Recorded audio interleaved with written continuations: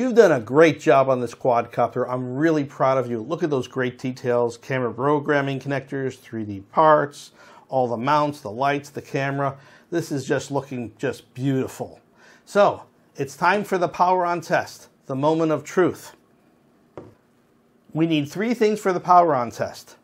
A battery, a fully charged LiPo battery, an antenna to connect to our video transmitter so we don't burn it out, and a smoke stopper. I hope you took the Quadcopter Coach course in how to solder because this was an important project. The smoke stopper works by plugging in the female end into the XT60 connector on the quadcopter and the male end into the battery connector. If there's a problem, this light bulb will flash and burn out rather than your wonderful electronics that you spent good money on. So this can really save you a lot of aggravation. And that's why you need the smoke stopper. Start by taking your video antenna and just screw it down simply onto the video transmitter. Doesn't have to be that tight, this is just a test.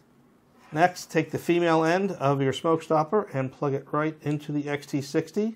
Here's a tip, put your fingernail underneath the bottom and push it down so it doesn't push down like that and then you can just slide it right up and know that it's fully seated on the quadcopter.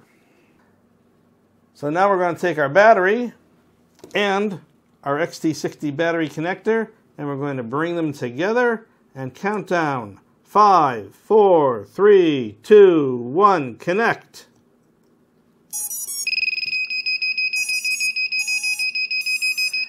Fantastic, it works. Look at this. We have a our beeper is sounding, our motor's twitched, we have our video transmitter blinking. I can see the lights here on the flight controller blinking. More lights on the flight controller blinking. The LED lights are all lit up here on back. Everything looks great. Here's a tip. Take this little piece. Take this little piece of foam tape, and there's your buzzer, and just stick it on there. Isn't that better? That's your muffler. Stick Tape on, tape off. When I'm working, I like to put the tape on. Makes life a whole lot easier.